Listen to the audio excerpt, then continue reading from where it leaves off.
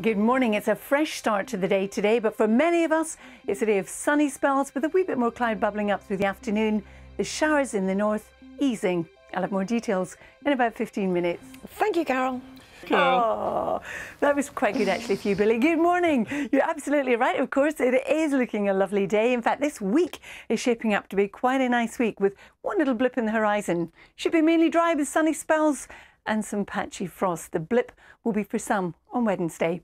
So this morning it's a fresh start to the day, but there's a lot of sunshine around.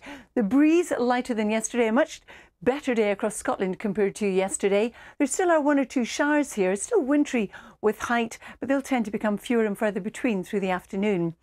For the afternoon across the southwest of England, we're looking at clear skies, beautiful afternoon in prospect.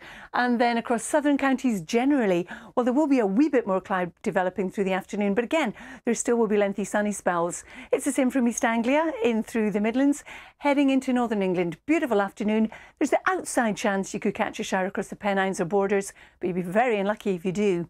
Across Scotland too, we're looking at a lot of sunshine right the way down that east coast of both Scotland and England. It will be breezier, that will peg back the temperatures. And for Northern Ireland, well, a wee bit more cloud developing through the afternoon, but still a lovely day ahead.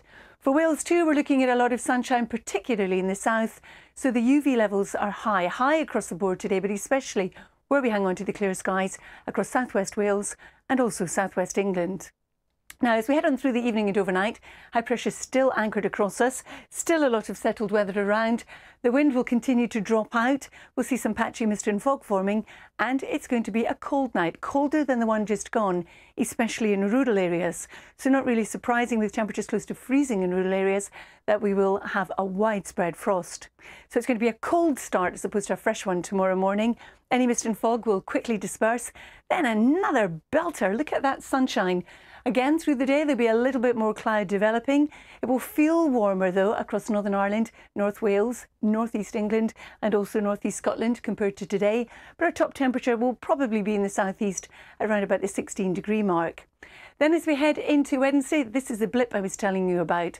No blip for England or Wales. More fine weather with the temperature continuing to rise. Eastern Scotland starting off on a dry and bright note with some sunshine.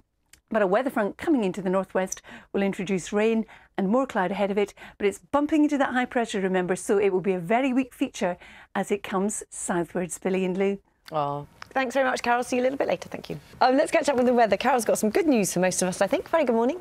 Good morning. Yes, this week the weather is looking fairly settled, although in the northwest on Wednesday a new weather front coming up will introduce some rain. But for most of us, it's going to be a mainly dry week with sunny spells, some patchy frost, and this hold true, holds true right up until the first part of the Easter weekend.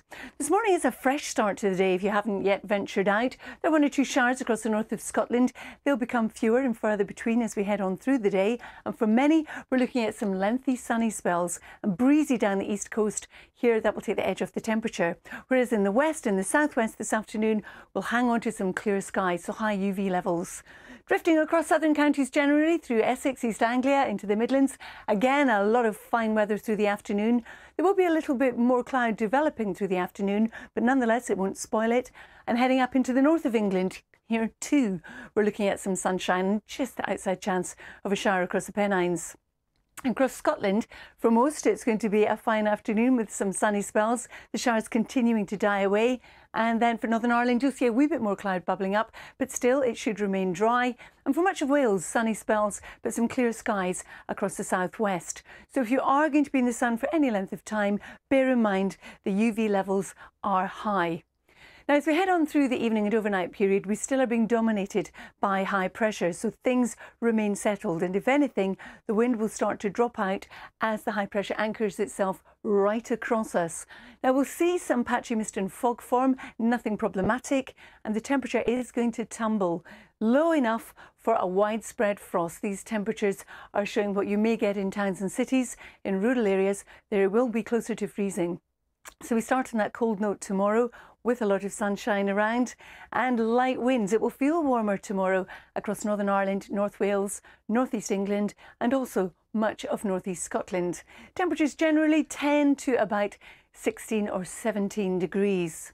Then, as we move from Tuesday into Wednesday, we do have that weather front coming into the northwest. That will introduce some rain, the cloud building all the time ahead of it across Scotland and Northern Ireland.